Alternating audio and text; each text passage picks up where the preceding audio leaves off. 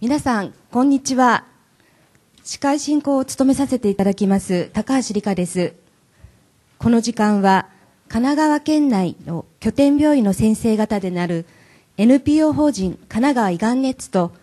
NPO 法人神奈川標準的がん治療開発支援システムが共催し、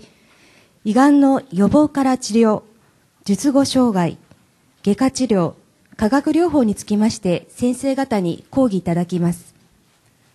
最初に NPO 法人神奈川胃がんネッツ、NPO 法人神奈川標準的がん治療開発支援システムの理事長で、横浜市立大学附属市民総合医療センターの円谷明先生にご挨拶いただきます。よろしくお願いします。今日は本当に暑い中ありがとうございます。あの、今日の講師の先生方は、実はあの、神奈川胃がん治療研究会というところの理事の先生方ですけども、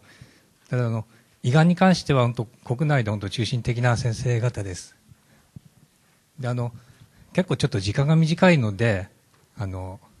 わかりにくいところもあると思いますけど、最後にちょっと Q&A セッションも設けますので、そこでちょっと聞いてもらって、あと、えっと、今日の講演は全部あの、ネットにアップロードされますので、もう一回聞き直していただければと思います。ということで今日はよろしくお願いします。円谷先生、ありがとうございました。